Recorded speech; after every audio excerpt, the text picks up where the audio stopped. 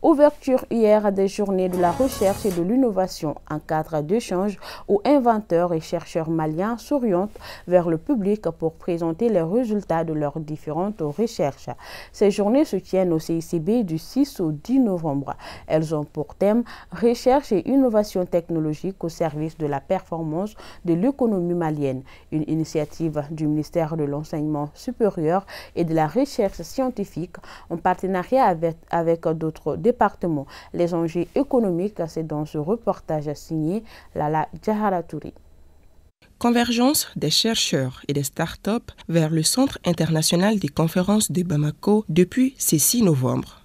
C'est dans le cadre des journées de la recherche et de l'innovation, un événement qui vise à vulgariser les résultats des recherches et à faire connaître du grand public les innovations de ces dernières années dans différents domaines les développements industriels et économiques passant nécessairement par cette recherche. C'est d'ailleurs ce qui justifie le choix de la thématique recherche et innovation technologique au service de la performance de l'économie malienne.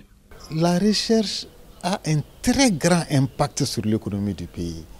Et c'est là où les gens se trompent.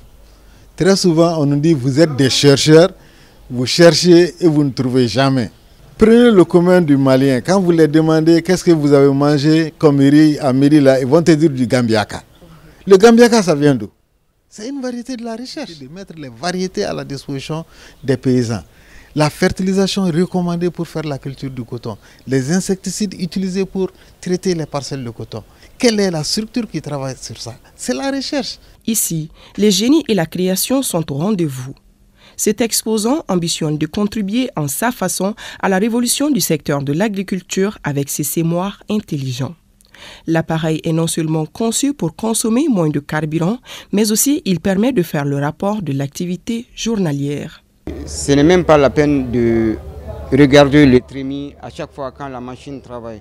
Maintenant, il y a des voyants, un tableau voyant qui est au devant de vous qui, qui vous montre tout ce qui se passe et la machine est capable aussi de vous envoyer le rapport après tout ce que vous avez fait, c'est-à-dire la quantité de carburant que vous avez consommé sur le terrain, c'est-à-dire le nombre de sacs que vous avez utilisés sur le terrain, et le nombre d'hectares que vous avez fait aussi. Dans le domaine de la santé, des prouesses ont été accomplies car les recherches se poursuivent dans l'optique d'apporter des solutions efficientes à certaines pathologies, l'hémophilie et la drépanocytose à titre d'exemple. Vous avez l'image d'un hémophile qui a une petite égratignure. Avec son poids, si je devais le traiter, je lui donnerais des facteurs. Pour euh, être maximaliste, j'allais donner 750 unités de concentré de facteur 8 qui font à peu près 1 million 150 000. Donc, en temps normal, pour des blessures comme ça, on doit le donner matin et soir. Donc, ce patient doit être traité pendant 10 jours. Ce qui nous a poussé à réfléchir comment est-ce que nous pouvons faire pour aider nos populations. Donc, nous avons essayé de faire une enquête autour de nos tradithérapeutes qui euh, traitent ce genre de situation. Et là, on a pu identifier 10 plantes et on a fait des extraits. On a essayé d'incuber et on a reproduit les mêmes tests et le résultat, il est là. Vraiment que la différence est là, à un temps T0 et à un temps T30. Nous avons développé une approche euh, thérapeutique dans la prise en charge euh, de la drépanocytose, sur lequel déjà nous avons travaillé il y a maintenant plus de 30 ans. Et notre approche concerne une prise en charge euh, naturelle qui est basée sur une thérapie qu'on a dénommée la thérapie hydrodiététique. Et vous savez que dans le monde actuellement, les traitements qui existent dans nos pays, c'est des traitements symptomatiques. L'accès à ces technologies et ces traitements qui est très très compliqué et ça nécessite beaucoup de, ressources financières au niveau de l'État pour le déploiement et même pour la prise en charge des, des patients. Ces journées de la recherche et de l'innovation se tiennent d'ici au 10 novembre.